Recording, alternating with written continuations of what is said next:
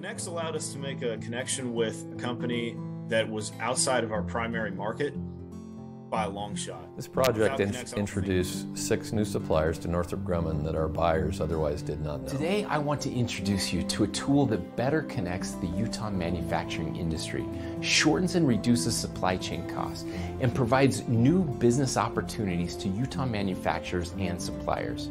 It's called Connex. Connex has helped me as the business development manager in this small company simplify the process of getting in front of large primes by about two and a half years. Gas, or you're doing something else. We want to make sure we help diversify these companies. So we set up website type of program. It's called Connex. If you're not on that and you're a manufacturer in Oklahoma, we encourage you to engage. So Connex really allows the primes and the small and mid-sized manufacturers to come together, and the primes are able to find new potential suppliers, and then the small and mid-sized manufacturers are able to pre-qualify with those primes and get in front of them as a potential. One of the things I really enjoy about using Connex is it's very simple and it's very cut and dry. We're all very busy.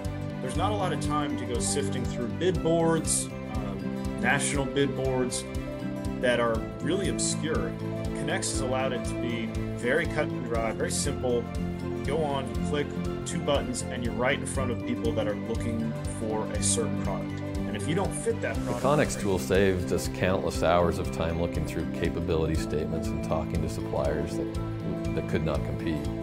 Both if I could go back, I would do this five days sooner because every day that passes, you're missing opportunities. They're closing. And even today, I just got off an appointment with someone that I met through Connex, and it's a, probably going to be a good fit for our company. So if you're thinking that maybe this isn't for you, I would challenge you to do it and see what's there. I would do it now.